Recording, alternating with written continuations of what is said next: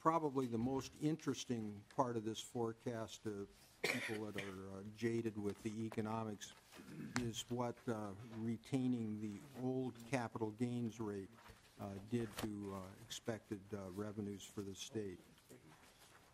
One of the changes uh, that was made in the tax compromise was to extend the current, or the existing 15% tax rate on capital gains on until 2012. Uh, Prior, uh, under current law, in November, the- capital gains rate was scheduled to go up to 20% in uh, 2010, in 2011. And what that would do is, uh, the higher tax rate would uh, encourage people, for tax purposes, not to turn over portfolios as fast as uh, they would have under the lower tax rate. And of course, if they're not turning their portfolio over as rapidly as um, they would have under prior law, they would um, not be generating as much uh, income. Uh, Since we do a current law forecast, our forecast in November was based on a 20% capital gains rate. Once that rate changed and in law, uh, we then uh, reforecast capital gains.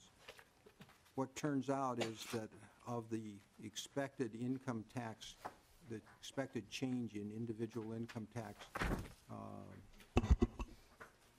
adjusted gross income, the change in capital gains realizations uh, between uh, what was forecast in Feb, in November and what's forecast in February uh, accounts for about 65% of uh, the change in income. Uh, Capital gains are only a, about 3% of total adjusted gross income for Minnesota residents. And so you can see that uh, we've had a huge increase in a very small part of the tax base. It's nice for the state to get more money, uh, but the capital gains read is a rather slender reed uh, to rely on because capital gains are very volatile.